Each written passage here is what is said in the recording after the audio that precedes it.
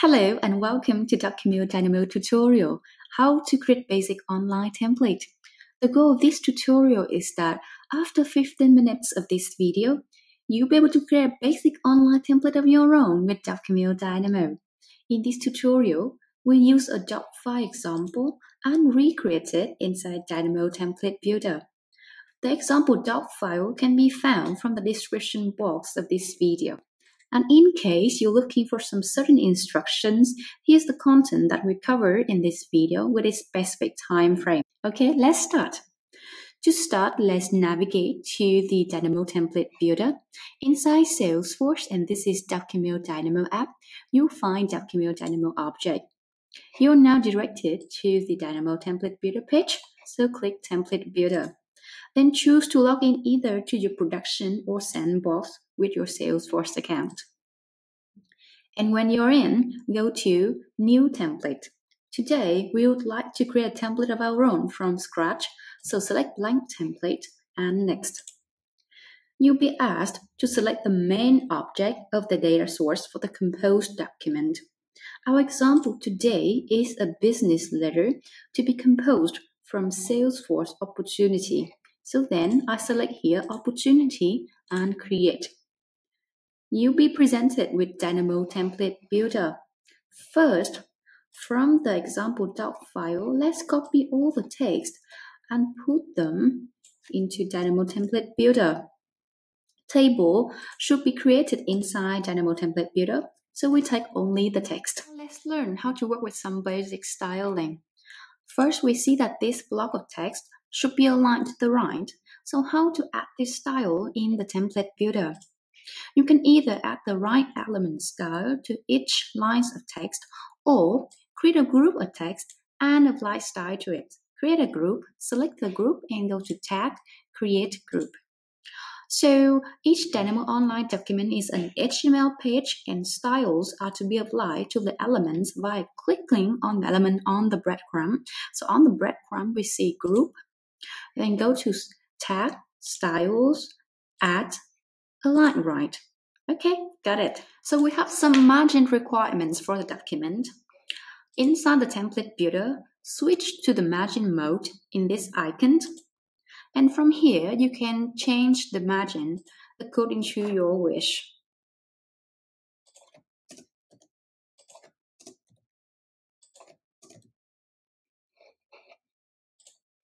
We want the font to be Roboto and the font size is 12. So on the left pane, Styles, Default, Document. In here, you can specify the font, font family, add web font. So Roboto, for example. Okay. So now the font is changed and the font size can be modified from here. Okay. So the margin contents like header or footer will share the same default style with the main document. Now let's learn how to create document header. Let's first have a look at our example. So in our example, the header is divided into two columns. How to simulate that into Dynamo Template Builder? First, go to header and remember to delete this example text. We'll now create a table. From the editing toolbar, click on the icon table to create a table that has one row and two column and the headers none. All right. So now we copy the text of the first column. The second column is the local images. With images, we can either under data on the right pane, images, Dynamo brings all Salesforce images with public link available for simple drag and drop option. The second way is from the editing toolbar, click on the image icon to create an image placeholder. Then go to tab and upload image straight from your computer. The file has to be smaller than 20 kilobytes to be uploaded. To resize the image, under attributes, width, modifying this number will scale up or down the images. To align this image to the right, like in our example, line we just practiced from the beginning, click on cell styles, add align right. And lastly, we don't want this table border to be shown. So we click on Table, Styles, Add, Borders None. Alright, so the header is complete. Let's map the dynamic content of the document. So all these placeholders, we would like them to dynamically display based on Salesforce fields. First of all, date of creation. Dynamo already has a variable called today that you could use to map in uh, the date of creation. So data, data source, variables, search for today. We have two options, whether to drop it to the document or map to existing element. Because we already have this placeholder to text, so let's map it to the existing element or content. Because this placeholder resides in both uh, paragraph and group element, so we should map it to the smaller level of element, which is a paragraph in this case. Okay, so the similar process for the rest of the placeholders. Uh, it's really totally depends on your Salesforce data models, what Salesforce field, what data you would like to be displayed. So usernames is a Salesforce field, and we have these common records available, users, and search for the name full name, map it to existing paragraph. User street, similar process.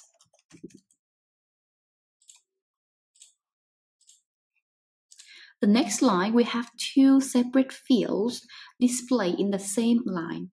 So first, let's go search for postal code. Code, and we select this placeholder, add to text selection. By this way, we map the content only to this placeholder. City. And we also select this placeholder and add to text selection. Contact name. We would use this primary contact role. Contact ID, search for name. similar process. Next is title.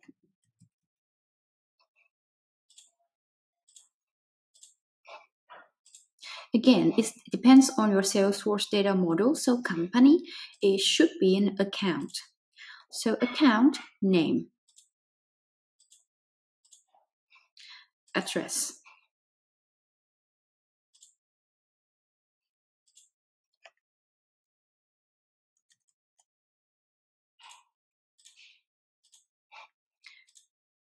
Once again, about the contact name.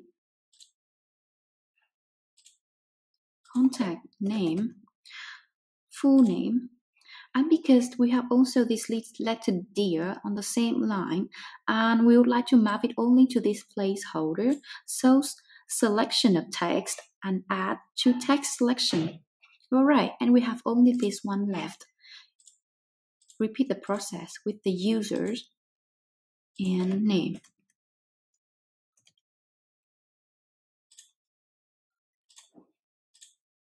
Alright, so now all the fields are mapped properly. Now let's learn how to create a data table. Let's create a table that looks like in our example, which has four columns and three rows. From the editing toolbar, click on the table icon to create a table that has three rows and four columns and headers first row. First type in the title text. For the last row, click right cell, merge right to merge them together. Okay, and to align this quote total to the right, like we just practiced in the beginning, click on cell tab, styles, add, line right. Right. From the table, each row should display one opportunity product, which is a related list of opportunity. Next, let's make table rows repeat data of a related list. data, data source, opportunity, and under here we have related list selection. Search for opportunity product. Then assign to row as we want the row to display and repeat. Now search for the needed fields.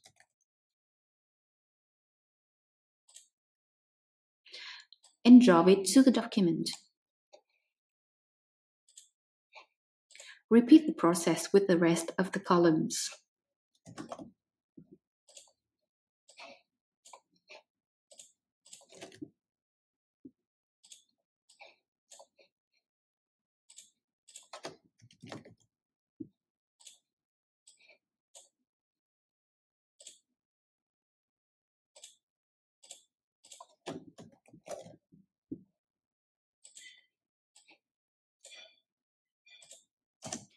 Now let's do the final touch, the table headers and footers. Because we already have this um, style created, it's called table header cell. So in here, you could modify any single detail according to your wish.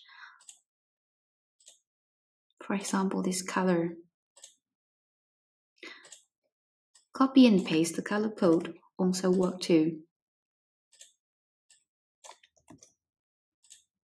With a footer because I can't find any default style set here. So let's add one new style tag, add, and we have this table footer cell already created. So we add table footer cell and the similar things to modified.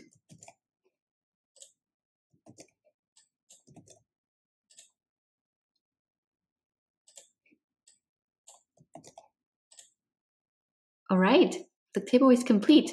Looks like we are very close to the finish line. Next, let's test to see if uh, everything works properly. Click on Test and select your Salesforce record that you wish to be tested with. For example, this one. Okay, looks like everything works properly. We have the date of today, we have dynamic content, the name and the information name and the products with product table display properly quantity with the price and the total amount. Everything works properly except for this field. Many reasons can cause a field not to appear. So if the field looks like the compound field what we could do is that try to map with some more specific fields inside salesforce. For example map billing street instead or the other very common reason is that the field is empty in Salesforce. So what we could do is that we could set a condition so that if the field is empty in Salesforce, the placeholder will not appear. So under attributes, if not empty, then copy this content. This is one of our pre-made condition so that if the field is empty in Salesforce, the placeholder will not appear. Okay, so let's test it again. Okay, it now works properly.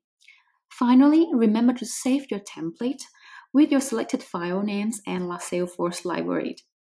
Congratulations, you have just got your first template in place. In the next video, we'll learn about basic settings, enable editable content, attachment function for end users, and send custom email after document is generated. If you have any questions about Dynamo and how to work with Dynamo, please contact Dynamo sales team or support team, and we are very willing to help you. See you again soon.